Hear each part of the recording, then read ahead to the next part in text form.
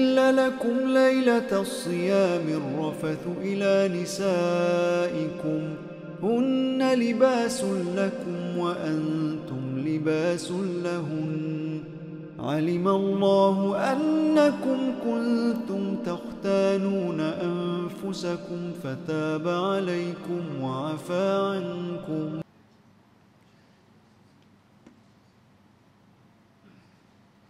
بسم الله الرحمن الرحيم الحمد لله رب العالمين والصلاة والسلام على رسول الله وآله وصحبه أجمعين أحبتي في الله السلام عليكم ورحمة الله وبركاته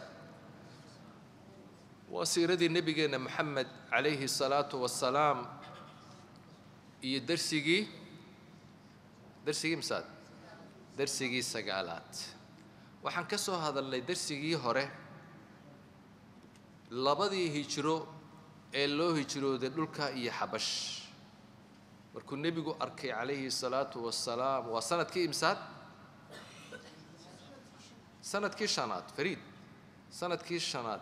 Markuu nebigu arkay calayhi salaatu wasalaam asxaabtiisa iyo dhibaatada lagu hayo iyo sida loo garaacayo bilaal xaggan camaar yaasir iyo sumaya iyo khabaab ibn alarad iyo raggii oo iyo dumarkii iyo dadkii oo la wala garaacayo oo la laynayo caynkan nebigu wuxuu ogolaaday calayhi salaatu wasalaam inay diintooda la baxsadaan. Kooxdii ugu horeysay ee baxsatay ee diintooda la carartay ee hijrootay imise ahaayeen baan idhi lix iyo toban bay ahaayeen. Lix iyo toban imisaa dumar ahaa afar fariid ragguna labiyo toban. Xagga iyo diintooday ula carareen waxaan kaloon ka soo warannay sanadkaasi inuu nebigu la kulmay raggii waaweynaa ee quraysh. Uu fursad ku helay uu ku yidhi bali dhegaysta maanta qur'aan buu ku akhriyey suuradduu ku akhriyey. Wanajmi idaa hawaa buu nebigu ku akhriyay calayhi salaatu wasalaam raggaasi qur'aankaas markay dhuuxeen oy fahmeen ayadaha ugu dambeeya suuratu najm ilaahay wuxuu leeyahy haddaba ilaahaas ilahay wuxuu ka warramaya ummadihii iyo dadkii rabbigii weynaa rabb iyo xidigahan iyo kii abuuray. Markaasuu ilaahay leeyahay ilaahaasi ha loo sujuudo ha la caabudo. Nebigu wuu sujuuday. Gaaladiina way wala sujuudeen. Markii lagu qabsada ee la yidhi waxaad u sujuudeen maxamed ilaahiisii may been bay sheegeen. Kadibna waxay bilaabeen inay mar labaad dhib badan ay soo beeriyaan oo aad muslimiintii soo warkii ahaa way soo waa la islaamay oo quraysh baa soo islaamtay. Wuxuu gaadhay dadkii xabash joogay muhaajiriintii xabash. Qaar baa soo noqday qaarna way ku hadheen kuwiina naftoodii waa la dhibay. Nebigu mar labaad wuxuu u ogolaaday asxaabtiisa inay hijroodaan oy dhulka iyo xabash u hijroodaan. Markan dambe imisaa hijrootay? Imisaa imisaa ahaa rag? Saddex iyo siddeetan. Dumarkuna siddeed iyo toban ama sagaal iyo toban ayaa hijrooday.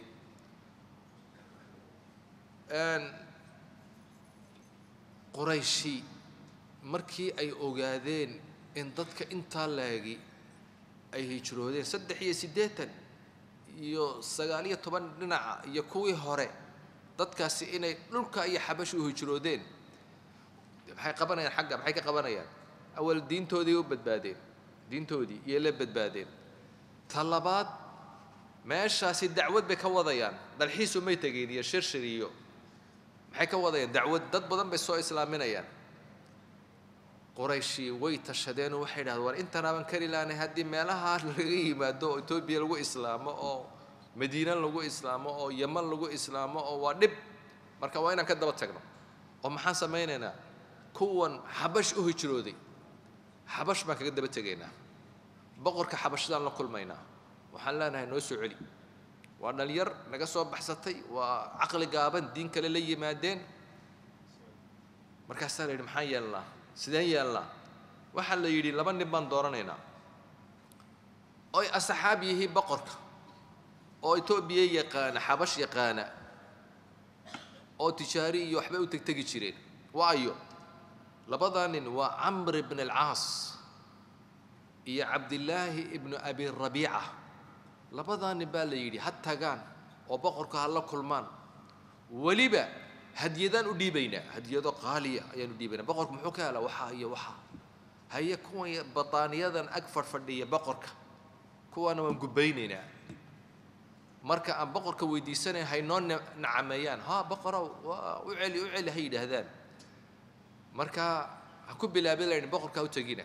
Hadiyaddaana qaadan. Hadiyaddii bay qaadeen oo doontii bay soo raaceen oo xabash bay yimaadeen oo boqorka intii ayna kuwii wasaaraada ahaa bay la kulmeen. Hadiyaddii bay u qayqaybiyeen waxay dhahen waka dhalinyar baa soo baxsatay waddankiina yimaadeen way caqli gaaban yihiin ilaahayaashayadii ayay caayeen. Dadka yagii midka ahaa bay kala geeyeen dhib badan bayna gaarsiiyeen.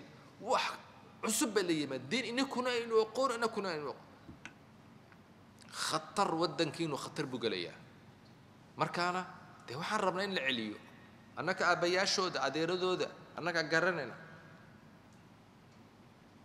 boqorkaad la kulmaysaan ballan nooga qabtaynaa boqorka markaad nooga qabataan dee ininkuna dee nagu taageera boqorkaan la hadlaynaa waxaad tiraa ha boqorow ha loo celiyo waayahay arrintaasaa lagu heshiiyey marka boqorkii bay u yimaadeen waxay idhaahdeen boqorow hadiyad yareed ba u keeneen oo kusoo salaamaynayo xaggan aanu ka nimid oo odayaashii labada odayaashii waaweynaa ee quraysh baan nahay kadibna waxay yidhaahdeen boqorow na dhegayso. Waddankaaga waxaa soo galay dhalinyar caqligaa gaaban. Diintii qoomkoogay ka baxeen. Diintaadana may gelin. Diintiisu waa maxay? Waa kristan diintaadana may gelin waxay la yimaadeen bidiinin ibtadacuuh diin iyaku ay iska samaysteen. Laa nacrifuhu naxnu walaa ant. Annakuna ma naqaano adnama taqaanid. Waxaa noo soo kaa diray ashraafu qowmihim qoomkooga kuwii ugu sharafta badnaa oo aabbayaashood iyo adeeradood iyo qaraabadoodiiya maxay doonayaan? Litaruddahum ilayhim inaad u celisid. Maxaa yeelay iyakaa garanaya iyakaa kaa og taasaan kugu nimid. Kooxdii dee la gubbeeyee wasiiradii meesha fadhiyey bataariqadii ayaa waxaan sadaqa ayuha almelik boqorow run bay sheegayaan labada nin. Fa aslimhum ilayhim ragga ha loo dhiibo. Qoomkoogii iyo waddankoogii dib ha lagu celiyo sharkooga waddankaa laga saaro hana laga musaafiriyo. Waddanka naga fasaadkaasay keeni doonaan diinteennii bay naga kala kaxayn ha naga waa loo marka sidii ay doonayeen ayay heleen. Laakiin najaashi wuxuu ahaa oday maskax badan caqli badan. Nebi moxamed calayhi salaatu wasalaam markuu diraaseeyey wuxuu arkay meeshaasi nin caadilah oo caqli badan inuu joogo. Wuu u fiirsaday odayaashiibuu u fiirsaday wasiiradiibuu u fiirsaday raggii meesha dacwada u socday buu u fiirsaday. Wuxuu yidhi may wallaahi ma dhiibaya raggaas ilaa la ii keeno oon ogaanayo waan idin dhegaystay nik iyo kana han dhegaysto marka kanaa la yidhi waa la habeenkii bay tashadeen oo la yidhi beritoole boqorkaad la kulmaysaan oo raggaasaa yimid alla waa isku naxaan alla maxaan yeelaynaa diinteennii baa la ogaano waana layn oo billow raggii baana loo dhiibayaa maan ka noqonaa maan ka joogsanaa inan qoraysh baa loo dhiibayaa maogta askar baa la raacinoo doon baa la raacinoo waddankii baa lagu celinoo maxaa yeelna habeenkii baa la tashaday. Waxay ku heshiiyeen inay rur sheegaan. Muslimiin baan nahay diin baan la nimid. Diinteenaan ku adkaysanayna. Wixii ka dhacaa ka dhaco. Sidii baa markaa lagu heshiiyey. Waxaa la yidhi waxaa inoo hadlaya jacfar ibnu abi aalib jacfar ibnu abi aalib jacfar maxay isku yihiin nebiga? Ilma odayga adeerkii abu aalib ayaa koriyey dhinacna nebiga calayhi salaatu wasalaam. Adeerkii in adeerkii weeyaan dhinacna ha? Dhinacna? Cali bna abi aalib walaala yihiin. Sax. Dhinacna? Qofka soo sheega dhinacna? Abaalgud buu leeyahay. Dhinacna? Nebiga xaggana wayna adeerkii dhinacna. Ya. May may dhinaca maaha dhinac kalaa jira. Dhinac kalaa jira. Darsi horaan ku soo sheeganay siduu u yahay walaalkii? A fariid. Laakiin kaa yar baa kaa horey abaalgud baad leeda adeer ya ناس بيقولوا دوقي ما هي؟ ناس بيقولوا ولا لي نقرا يا مركه فريد ماشي وحا جعفر با مركه سو جوجسدي جعفر اي سو جوجسدي وحو يري أيها الملك بقرو. بقرو كنا قوما أهل جاهلية. فرسدا حديث رنتيسه سدو حو عدينيو. إيمانكيس بقرو. وحانو أهين ضد شاهليين أو حب الجرنين نعبد الأصنام ونأكل الميتة. صنم كان عبدني صنم نجح ميتك والعنين ميتك وسكعون شرير ونأتي الفواحش زندي وححن أردنا وسمينني ونقطع الأرحام قرابتنا وجينني ونسيء الجوار شار كان وأضرنين حوق بدن jaarkiiyo wixiisa u weliba waya'kulu mina alqawiyu daciifka ayaga xoogga badan ka daciifka wixiisa u qaadanaya carab baa odhanaya iso kaale yaa iga qaadi yaa ii ka maarata yaa kuu heelin fakunnaa sidaasaan ahayn dadkaa foosha xun ee dulmiga ee cadaalad darrida ee diin aan haysan ee baadiyaha een taariikh lahayn ee qiimo lahayn dad noocaasaanu ahayn. Oo baadiyaha degan kow فكنا على ذلك. حالة داسان كسوغنين حتى بعث الله إلينا رسولا منا. أنك أصدع كسوغن بإلهي وحر أحد يدي وكسو صاري. رسول أنك نقم ذا. قفك محمد ملك لك مؤمن؟ وإنك يجي؟ نعرف نصبه. وصدقه وأمانته وعفافه. وحنقرننا محمد نصب كيس. بترتين تيس. وحنقرننا waxaan garanaynaa ammaanadiisa waxaan garanaynaa dhowrsoonidiisa. Nin aan garanayno ayuu ilaahay noo soo diray. Muxuu sameeyey moxamed wuxuu noogu yeedhay fadacaana ila allah. Ilaahay keligii inaan caabudno. Oon keligii u sujuudno. Oon asnaamta ka tagno aabbayaashay ay caabudayeen ee dhagaxa aan waxna tarayn wuxuu moxamedna amray inaan runta sheegno. Inaan ammaanada aan gudanno inaan qaraabada xidhiidhinno inaan jaarka u fiicnaanno inaan dhibaatada aan dadka ka hayno dhibaatada inaan ka haysanno. Dhiigga aan yaacinayna inaan joojinno. Xumaanta oo dhan uu naga reebay.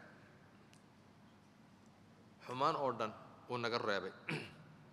Wuxuuna amray inaan ilaahay keligii caabudno. Wuxuuna amray inaan salaada tukanno. Wuxuuna amray inaan zakada aan masaakiinta siino. Wuxuuna amray inaan soonno wuxuu tiriyey marka diintii iyo wanaaggeygii kadibna waan rumaynay waan raacnay. Wixii uu la yimid ee xaqa ee diina ayaan ku rumaynay. Ilaahay keligii baan caabudnay. Waxba ilaahay umaanu shariig yeelin. Wixii ilaahay naga xarimay waan xarimnay wuxuu ilaahay noo xalaaleeyena xalaal baan ka dhigannay. Qoomkayagii baa naga soo horjeestay. Waynala coloobeen. Wayna garaaceen. Wayna cadaabeen diintayadii bay naga hor joogsadeen. Waxay doonayaan inaan dib ugu noqonno asnaamta cabuda cabudaaddeedii. Waxay doonayaan inaan wixii xumaa aan samayn jirnay inaan dib ugu noqonno markii ayna dulmiyeen ayna xoogeen ay nafta noogu yimaadeen ee annaka iyo diintayadii ayna kala dhex galeenoo xorriyad ayna siin waayeen waan ka soo baxsannay waddankii dadkii kale oo dhan dowladihii kale oo dhan maanu dooranay agtaada ayaanu nimid. Waxaanu kaa doonaynaa oon jecel lahay inaan jaar kula noqonno. Waxaanan rajaynaynaa inaan agtaadana lagu dulmiyin. Ka warrama hadalkaas? In agtaada aanu lagu dulmiyin ayaan kaa codsanaynaa. Najaashi wuxuu ku yidhi waa nin diintii hore garanaya. Wuxuu ku yidhi qur'aan wixii nebiga maxamed wixii maxamed lagu soo dejiyey nebigiina wax maad ka xafidsanta. Ha buu yidhi jaafar. Wuxuu yidhi akhri igu akhri.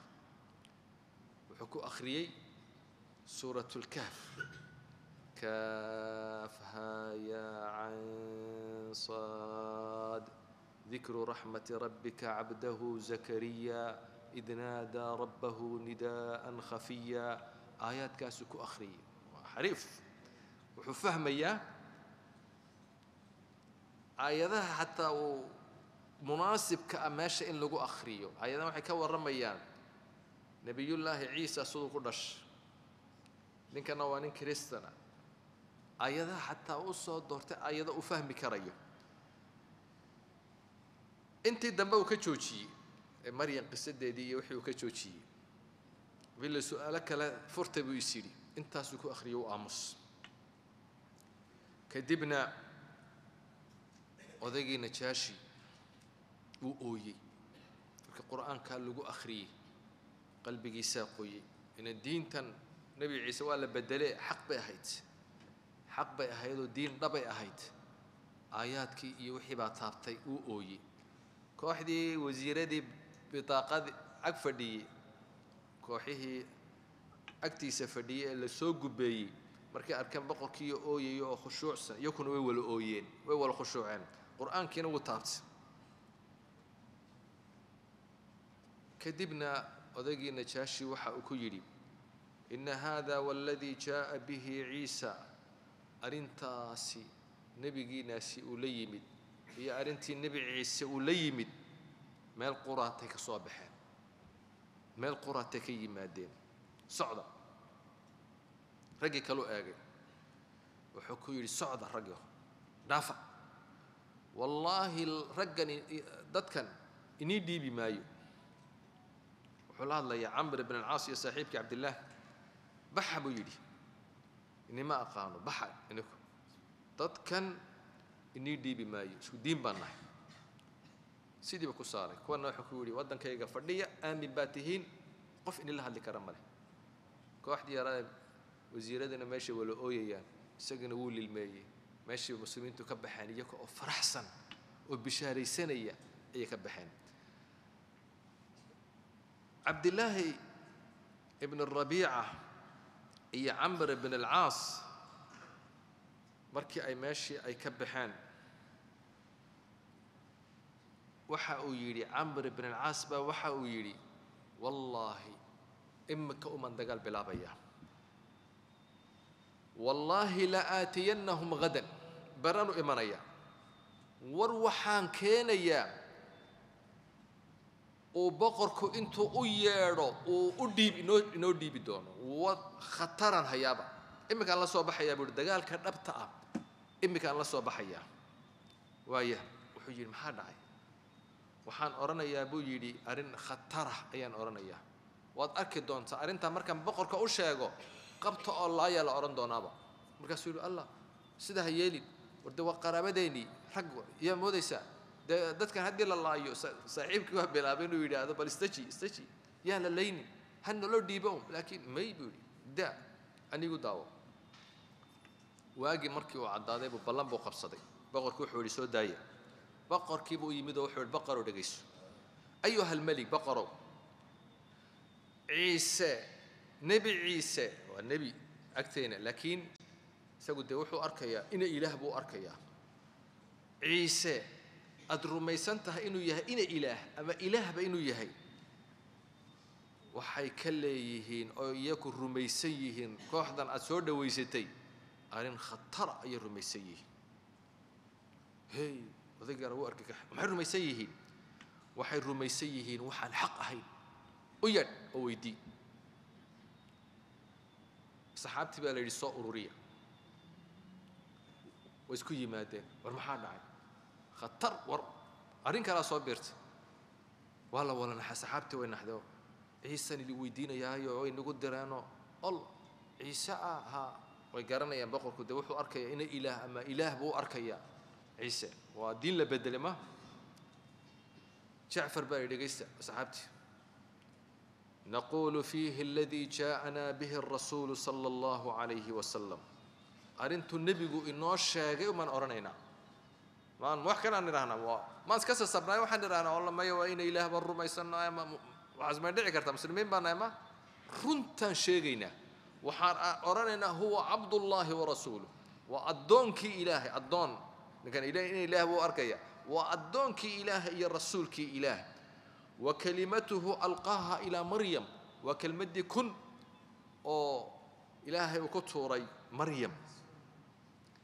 Kadibna way soo galay jacfar iyo asxaabtii raggana markaa way faraxsan yihiin. Odaygii najaashi waxa uu yidhi haye maxaad rumaysan tihiin ciise warka keena. Wuxuu yidhi dhegayso boqorow waa rasuulkii ilaahay. Waa addoonkii ilaahay. Waa kelmaddii ilaahay oo ilaahay maryam ku tuuray. Wallaahi waxaan rumaysannahay wuxuu nebigu noola yimid calayhi salaatu wasalaam. Kooxdiiba xaggan yara guguuxday. Markaasuu odaygu yidhi walow guguux haddaad doontaan. Dhegaysa kadibna markay hadleen oo yidhahdeen waxaan rumaysannahay inuu addoonkii ilaahay iyo rasuulkii ilaah iyo kelmaddii ilaahay maryam lagu tuura ee dhashay inuu yahay. Taasaan rumaysannahay kadibna wuxuu ku akhriyey aayadihii qur'aanka ah ee ka warramayay dhalmadiisii odaygii waxa uu yidhi aamin baa tihiin waddanka gala. Waddanku waa waddankiinni gala. Aamin baa tihiin. Qof inii dhowaan kara male qof inii dhibi kara male soo dhowaada. Ragganay noqotay labada nin hadiyadoodii ha loo celiyo. Hadiyaday noo keeneen maahayn u celiya buu yidhi. Rudduu calayhi hadaayaahum waxaan uga baahannahay male wallaahi waa gubbe waxay noo keeneen. U celiya buu yidhi hadiyadoodii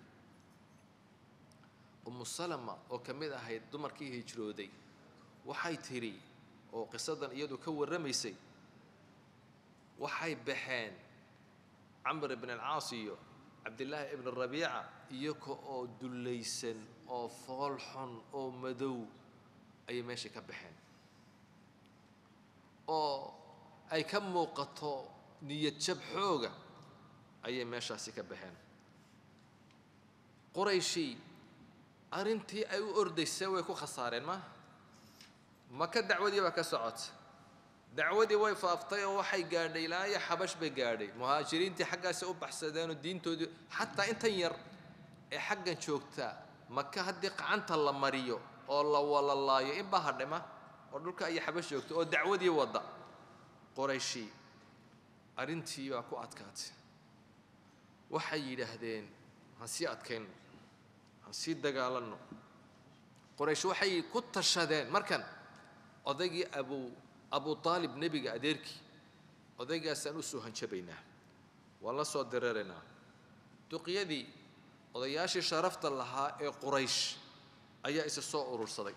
Way isku yimaadeen way tashanayaan waxay yidhahdeen sidani caqligal ma aha sax ma aha. Maxamed dacwadiisii buu wataa. Odayga adeerkii wuu difaacayaa boqol goor baan ku wiilkaaga naga qabso naga qabsan laaya arrintii maxamed xaggan way dhaafto ilaa xabash bay gaadhay. Maxamed weli dacwadiisii wadaa dee maa rag baan nahay? Intaynan oo dhan baan nahay? Maan iska celinna maxamed. Bal horta odayga adeerkii iyo namariya maanta nusoo hanjabnay odaygii ba u yimaadeen. Waxay dhan dhegayso agtayada waxaa tahay nin da' oo sharaf leh oo mansilo agtayada ku leh. Waxaanu ku nidhi inankan aad adeerka u tahay naga qabo nagamaad qaban. Wallaahi lan nasbira calaa haada. Uma sabrayno uma adkaysanayno in uu asnaamta ilaahyadayda inuu caayo inuu caqligaab nagu tilmaamo mama adkaysan karayno? Labadayada mid umaa dhimanaya maanta. Kooxdayadaasi inaan wala dhimanno oo sidaas dagaal ku galno oo annagu aan khasaarno iyo moxamed iyo kooxdiisu. Abu aaliba way u hanjabeen marka. Waxay yidhaahdeen mid baan isku nahay abu aalibow intayadaasi maanta waxaan u soconna dagaal. Odaygii arrintii baa ku culusaatay bes wuxuu yidhi haddaba arrinta waad hadasheen. Ii daaya arrinta. Nebigu u yeedhay yaka wuxuu ku yidhi iska baxa nebigu u yeedhay calayhi الsalaatu wasalaam wuxuu yidhi adeer i dhegayso. Qoraysh baa ii timid maanta. Qoraysh way hanjabaysaa way diriraysaa way dagaalamaysaa. Odayaashii waaweynaaba maanta dagaal igu soo qaaday. Adeero arrintu way iga culusaatay haddeed way iga culusaatay aniguna waa indhihii waxna saan ugama arkayo odaygaa weyn baan noqday ee da'ah dee bal ii tudh aniga naftayda ii tudh adna isku tudh nebigu adeerkii xataa hadduu ku idhaahda dacwada jooji miyuu joojin? Ilaahay baa u dhiibay dacwada inuu faafiyo miyuu joojin? Nebigu waxau uhi yaa cam adeer i dhegayso wallaahi low wadacu الshamsa fii yamiini والقمر في يساري على أن أترك هذا الأمر حتى يدهره الله أو أهلك فيه. ما تركته. هذا يريدكيسو ما يكريان أنت عدعاد سوق هذا إن ملك تيجا سارا ما يكريان بدع دي أنت سوق هذا إن بدح ذا يقدر لجان سي أن دين تلوداي ما يكريان ما يمكريان هدي أي كران أو يده هذا سأسم. كم تجيو؟ Hadday intay soo qaadaan dayaxa cadceedda oo xagga iga dul dhigaan si aan uga tago diintan aan faafinayo wallahi kama tegayo uhi nebigu calayh isalaatu wasalaam kama tegayo. Diintan ilaahay baa ii dhiibay. Dacwadan rasuul ilaahay baa iga dhigay. Ummadda inaan diinta iyo dacwada aan gaarsiiyo. Kama joogsanayo waan wadaya. Kadibna nebigu calayhi salaatu wasalaam wuu baxay. Isagoo cadhoonaya lilmaynaya ayuu nebigu baxay calayhi salaatu wasalaam aada u cadhaysan dacwada ilaahay qofna ma hor joojinaya laa taacata limakhluuqin fii macsiyati alkhaaliq. Dacwada jooji may noqonaysa ma joojinayo. Wixii ka dhacaa ka dhaco. Waxay samayn karayaan. Cadcadda iyo dayax iyo waxay soo qaadi karaan soo qaadan. Kama joojinayo. Waan wadaya dacwadaas. Ilaa ay diintaasi faafayso oo meel walba ama aan dhimanayo. Nebigu markaa wuu baxay isaga oo aad u murugaysan le khalaas odayga adeerkaa ee kuu kaalmayn jira maanta kadib kuma kaalmaynayo kadibna nebigu isaga oo yaro lilmaynaya ayuu baxay. Odaygii aad buu u jecel yahay nebiga calayhi salaatu wasalaam gaal ha ahaado. Wuu u yeedhay. Kaale buu yidhi. Kaale kaale adeer kaale soo noqo soo noqo. Soco buu yidhi. Dacwadaada faafi. Qul maa axbabt waxaad doontay ku hadal. Wallaahi kuu dhiibi maayo qofna kuu dhowaani maayo. Abadan. Dhaqaaq. Gabayna wuu ku raaciyey wallaahi lan yasiluu ilayka bijamcihim xataa uusada fi turaabi dafiina fastac biamrika maa calayka ghadaadatun waabshir waqura bidalika minka. Cuyu wuxuu ku leeyahay dhaqaaq dacwadaada faafi qofna kuu dhiibi maayo ku hoojini maayo ilaa ama aniga lay aasayo. Dacwadaada shaaci faafi dilaaci dadka oo dhan gaarsii wax dhiba male bishaarayso ku indhaqaboojiso ma ku hoojinayo abadan dhaqaaq.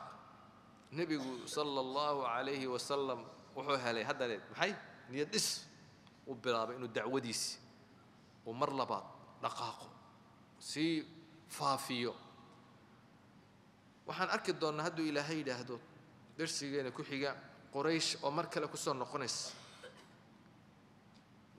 abu aalib u imanaysa oo hanjabaysa oo diriraysa waxaan arki doonnaa qorshayaal la isku dayaya sidii nebiga loo dili lahaa calayhi salaatu wasalaam waa inoo darsiga ku xiga wajazaakum allahu khayra wsala allahuma calaa sayidina moxamed وآله وصحبه أجمعين والسلام عليكم ورحمة الله وبركاته أحل لكم ليلة الصيام الرفث إلى نسائكم هن لباس لكم وأنتم لباس لهن. علم الله أنكم كنتم تختانون